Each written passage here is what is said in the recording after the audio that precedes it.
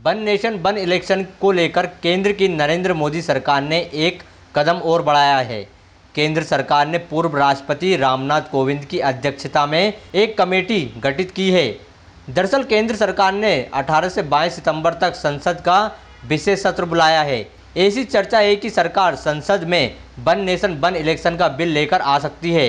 One nation one election का सीधा मतलब है कि देश में होने वाले सारे चुनाव एक साथ करा लिए जाएँ। पीएम नरेंद्र मोदी पहले भी कई मौके पर वन नेशन वन इलेक्शन की बात कह चुके हैं। वे संसद में भी कई बार वन नेशन वन इलेक्शन की वकालत कर चुके हैं।